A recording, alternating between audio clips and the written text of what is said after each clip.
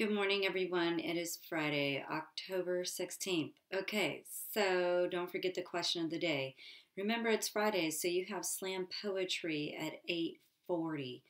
Then, directly after that, we're going to have a class meeting. So jump on our Zoom for our 9:30 meeting. So just basically get off of slam poetry, come directly to our meeting. We're going to do a math activity, and I think it's going to be pretty fun.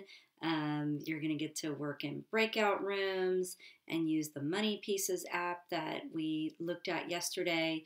Um, so I'm going to put a link to this message, and that's for the document that we're going to be working with during our class meeting. So if you can open it and have it open in a new tab, just ready to go.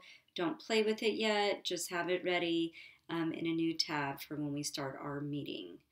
Um, also, your Westlandia project is due today, so that includes the graphic organizer uh, for the essay and for the map. It includes creating the map, coloring the map, outlining the map, and making a Flipgrid, presenting your map.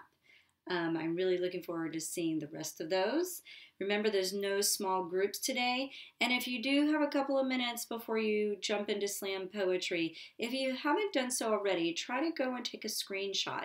I did post an assignment yesterday around 11 or 12 and just thought if you could go and practice taking a screenshot, that would be great. The more people that know how to do it, it's just going to make our um, meeting runs smoother, and you'll need to know how to do it for your math assignment for later today. All right, let me know if you have any questions about that, and I'll see you right after Slam Poetry.